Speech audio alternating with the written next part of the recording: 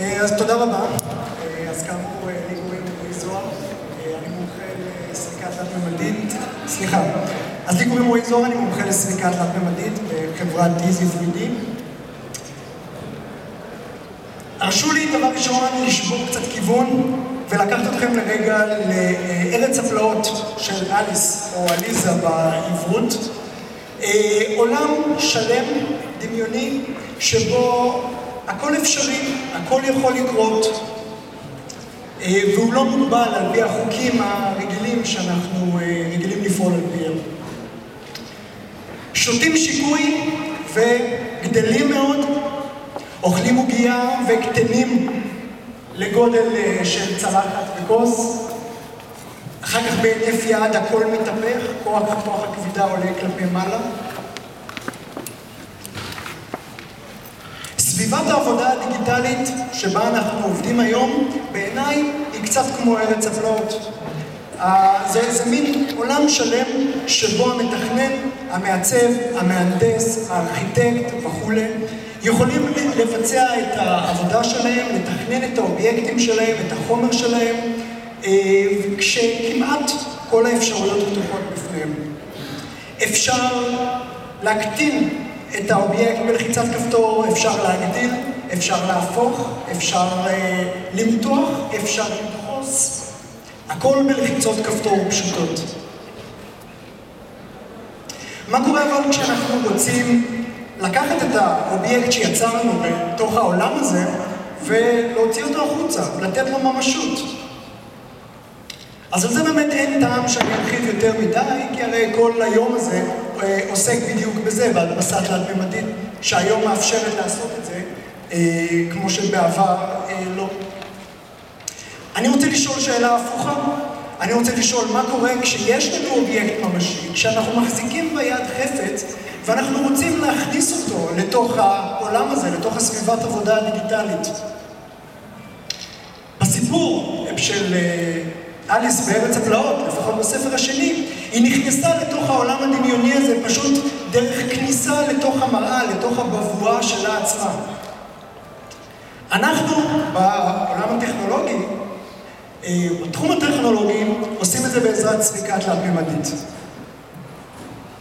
אני הולך לדבר איתכם אה, ככה במעט מאוד אה, זמן שיש לי על איך זה עובד, מהם השימושים העיקריים, ואנחנו נבדוק כמה מקרי מבחן אה, מסוימים שייתנו לכם איזושהי תמונה למה כבר עושים עם זה היום. אז בואו נתחיל עם איך זה עובד. יש הרבה מאוד טכנולוגיות שונות שנקראות סריקה תלת-ממדית ושהתוצאות שלהן אה, דומות. אה, אבל מכיוון שזמננו קצר, אה, ומכיוון שיש בכל זאת איזשהו קווים מנחים, איזשהו דמיון בין כל הטכנולוגיות השונות, אני אראה לכם איך עובדת אה, אחת הטכנולוגיות, אחת הטכנולוגיות הפופולריות שנקראות Structural Light, אה, ובתקווה זה ייתן לכם איזשהו קונספט כללי גם לגבי שאר הטכנולוגיות. אז כמו שאתם רואים פה, אנחנו רואים פה איזשהו סורק תלת-מימדי מייצג. אתם רואים שהוא מורכב משתי מצלמות ועוד עדשה באמצע שהיא בעצם, אה, היא לא מצלמה, אלא הפוך, היא מקרן. אנחנו בעצם מכוונים את הסורק על האובייקט שאותו אנחנו רוצים לסרוק ומתחילים בסריקה.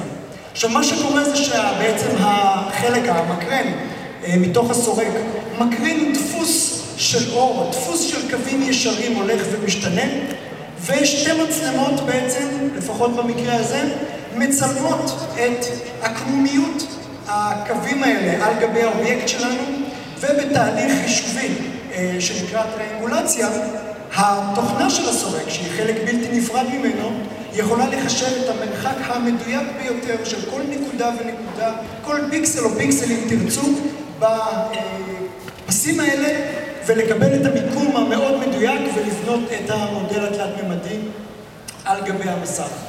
אז אתם רואים את זה פה אה, קורה בסרטון כרגע. והנה יש לנו פה אה, כמה דוגמאות של אובייקטים אה, שסרקנו ממש לאחרונה. אנחנו שמים את האובייקט, אנחנו סורקים אותו מכל הכיוונים, ובסופו של דבר מקבלים גוף STL, אה, גוף תלת-ממדי שלם, בתוך הסביבת עבודה הדיגיטלית של האובייקט. הנה, אפרופו, דיברו פה לפני לפניי על כסף דיגיטלי, אז יש פה סריקה ישירה של מטבע של עשר אגורות ועוד שאר אובייקטים. מהם השימושים? אני אחלק את זה לצורך, ההרצאה כרגע לשלוש קטגוריות. הנדסה לאחור, שמיכאל הזכיר גם בהרצאה שלו ממש לפניי. בואו נדמיין שיש לנו אובייקט ממשי, למשל קוביית לגו, ואנחנו רוצים לקבל את הקובץ התלת-ממדי שלו. כל מיני סיבות שאנחנו נבחן קצת יותר לעומק במקרה מבחן שלנו.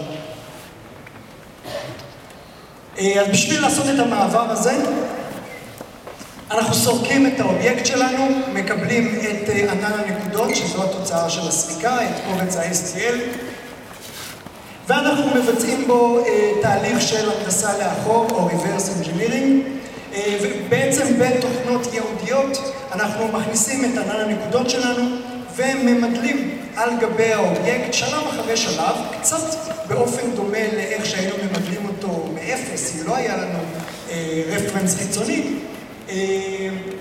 אבל כמובן בצורה הרבה יותר מהירה, הרבה יותר מדויקת, עם אפשרות לקבל גיאומטריות אמורפיות ומורכבות בצורה פשוטה יחסית. אז ממדלים את זה שלב אחרי שלב, עד שאנחנו מקבלים את האובייקט ההנדסי הסופי, ויש לנו בעצם קובץ שאנחנו יכולים להמשיך לעבוד עליו בסביבת העבודה הדיגיטלית הטבעית שלנו. היישום השני, בקרת איכות. בואו נניח מקרה קצת הפוך, יש לי כבר קובץ של האובייקט, כי אני המתכנן המקורי שלו. אני חברה שמייצרת במקרה הזה מזרטי, יש לי את הקובץ של המזרטי, כי אני תכננתי אותו, אבל הקובץ הזה, שהוא קובץ תכנון הנדסי טהור, אני אוהב לקרוא לו, עובר ייצור בכל מיני אמצעי ייצור, כל פעם בהתאם לצורך. אני רוצה לבדוק האם החלק הסופי, הממשי, אחרי הייצור, דומה או זהה, לפחות בתוך טולרנס שאני מוכן לקבל, זהה לתכנון המקורי שלי.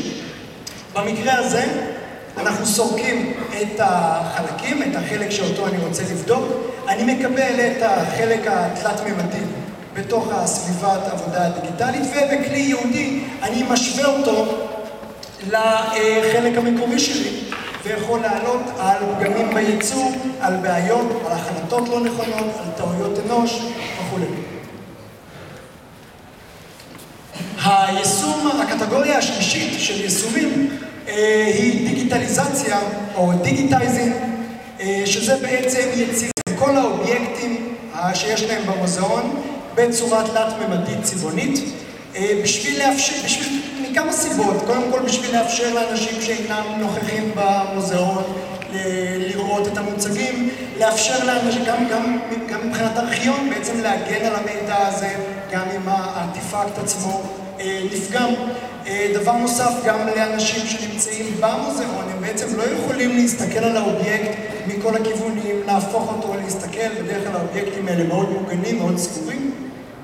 אז בעצם יצירת העתק מדויק וצבעוני של האובייקטים.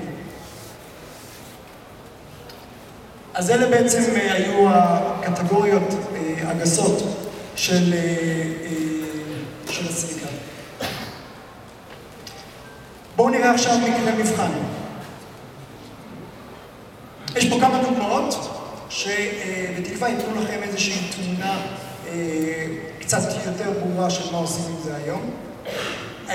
חוץ מכמובן בקרת איכות, שאני חושב שלא צריך להרחיב יותר מדי, בואו נראה את הדוגמאות. דבר ראשון, אני, דמיינו שאני חברה, חברת, חברה שרוצה לייצר מוצר aftermarket, שנורקל לג'יפים. אני לא קשור לחברת סוזוקי, אבל אני רוצה לייצר מוצר נלווה, את השנורקל לסוזוקי ג'ימני. לשנורקלים אגב יש כל מיני שימושים, הם מאפשרים למנוע, סתם באנקדוטה, לשאוב אוויר נקי יותר מאשר אוויר המלא חול ועוד כמה שימושים. אני רוצה לייצר את השנורקל לסוזוקי ג'ימני. אני מרים טלפון למר סוזוקי ביפן, ואני אומר לו, תשמע, אני רוצה לייצר את השנורקל עבור סוזוקי ג'ימני, שלח לי בבקשה את הקבצים התלת-ממדיים של הרכב, בשביל שהשנורקל באמת יתאים בצורה מושלמת ומדויקת וייכנס גם פנימה לפילטר אוויר במיקום הנכון אה, באוטו. מר סוזוקי היקר? שולח אותי לאלפי עזאזל, אין לו שום סיבה לשלוח לי את הקבצים שהוא עבד עליהם כל כך קשה, הוא לא מאמין לי שאני רוצה להשתמש בהם רק כרפרנס, ובמקרה הזה אפשר לסרוק אה, רק את החלקים הרלוונטיים בג'יפ ולהשתמש בהם בעצם כמדידות, כרפרנס לייצור החלק שלי. דוגמה נוספת שנתקלים בה די הרבה, אה, אני חברה שמייצרת חלקים ביציקות ברזל. החלקים האלה יכולים לפעמים לרוץ 30 שנה בלי שינוי, להמשיך לייצר אותם עוד ועוד ועוד מאותן תבניות. עכשיו נוצר, עלה בי הצורך לעשות איזשהו שינוי בחלק הזה, אבל החלק הזה, שאני מייצר אותו כבר 30 שנה, תוכנן לפני עידן המחשב, לפני העידן הדיגיטלי של התכנון. במקרה הזה, מה שאפשר לעשות, אפשר לסרוק את האובייקט הזה, לעשות לו reverse engineering, לקבל קובץ תכנון של האובייקט הזה, ומפה הלקוח יכול להכניס אותו לסביבת העבודה הטבעית שלו ולבצע את השינוי ולהמשיך הלאה ל prototyping וייצור. ארגונומיה, או בגדול אפילו industrial design. לי יש אגב תואר ראשון בעיצוב תעשייתי, והיה לי מרצה שבזמנו שאמר שלתכנן כיסאות בסביבת עבודה דיגיטלית זה נהדר ויפה ומאפשר, נותן לנו הרבה אפשרויות, אבל הכיסא לעולם לא יוכל להיחשב ככיסא טוב עד שבדקנו אותו עם התחת. באופן מאוד דומה, יש פה ייצור של controller של חברת Valve, שאמור להיות נוח בידיים. אז מייצרים אותו בסביבת העבודה הדיגיטלית, הדפסה תלת-ממדית מאפשרת לנו בצורה מאוד פשוטה וזריזה לייצר את הפרוטוטייפים, את המוקאפים לפחות, להחזיק אותם ביד ולראות אם הם נוחים.